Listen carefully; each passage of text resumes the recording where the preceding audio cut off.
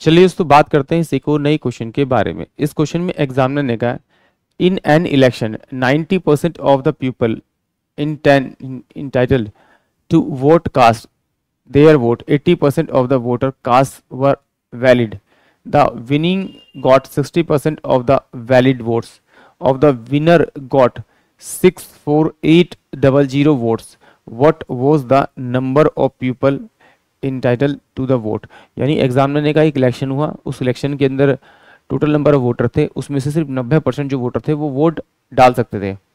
और जो वोट डाली गई उसका ना 80 परसेंट वैलिड था। उसके बाद जो जीतने वाला कैंडिडेट है उसने उसका 60 परसेंट लिया। और वो जो आ, उसको जो वोट मिली वो six four eight double zero थी।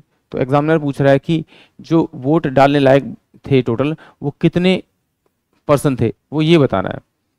तो मान लेते कि भाई टोटल जो वोटर्स वोट डालने वाले थे जो वोट डाल सकते थे, वो थे आपके सौ। अगर सौ थे तो उसमें से सिर्फ़ डाल कितने सकते थे? आपके नाइन्टी यानी कि बाकी बच्चे होंगे। अंडर नाइनटीन हो गए। यानी कि नब्बे। अब उसमें से क्या हुआ? 80 परसेंट तो वैलिड थे और 20 परसेंट अवैध थे। तो 80 परसेंट इसका निकालूँगा, यानी इसका 80 परसेंट निकालूँगा तो बहत्तर। बहत्तर जो वोट थी, वो वैलिड थी।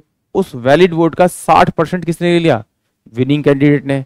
तो 60 परसेंट ले लिया, इसका 60 परसेंट निकाल दीजिए। तो छह बटे में आप दस कर दीजिए। तो ये किसके बराबर होना चाहिए आपका? ये six four eight zero zero के बराबर होना चाहिए। ठीक है?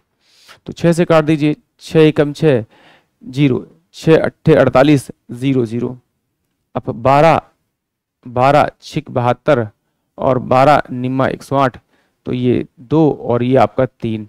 तो इसका मतलब और ये दो, पाँच तो इसका मतलब कितना आ जाएगा? One five double zero. अगर इस पूरे नंबर को मैं वन फाइव डबल ज़ीरो, यानी पंद्रह सौ से मल्टीप्लाई करूँ तो यही वोट आई जिससे से मल्टीप्लाई, इससे मल्टीप्लाई कर दीजिए। यानी वन फाइव फोर ज़ीरो, यानी कि डेढ़ लाख। यानी कि ऑप्शन जो मेरे पास में सी होगा, वो इस क्वेश्चन के लिए करेक्ट होगा। आई होप आप सभी क्वेश्चन समझ में आया होगा।